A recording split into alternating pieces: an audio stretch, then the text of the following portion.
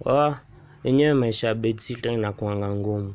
Sasa mimi nimeamka tu hivi eh, na najitayarisha niende job, niende job. Sasa nasema cha nishuke kwa kitanda niende kukunywa chai.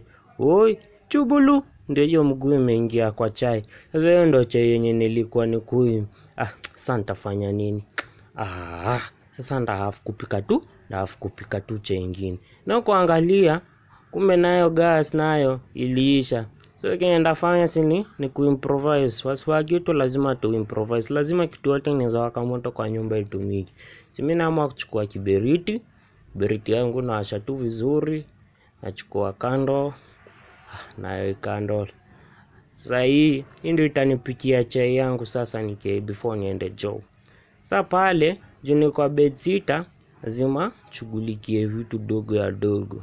Sasa mimi naweka kanini kangu kando lapo, ngoje ichemshe maji, hiyo maji itachemka na kitu kaa one hour 30 minutes hivi. Ndo ni nikunywe chai alafu nifike job. Na sasa pale nikisikiza TV jirani wanateta. saa kwa hivyo lazima lazima ni ni na earphones tu nikiongojeanga chai ikiwa moto. Kina TV sijalipia bomba.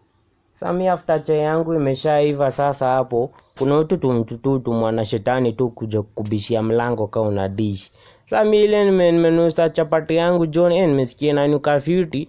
Eh, kwenda tu kupiga tu hivi bite nugu ya mtu ni imebisha mlango. Sa shuali kwani hawa watu hawana kwa kanyumba kadogo tu hivi hata waniurumi nyumba alipa mia tatu mtu akuja kunibishia shuali.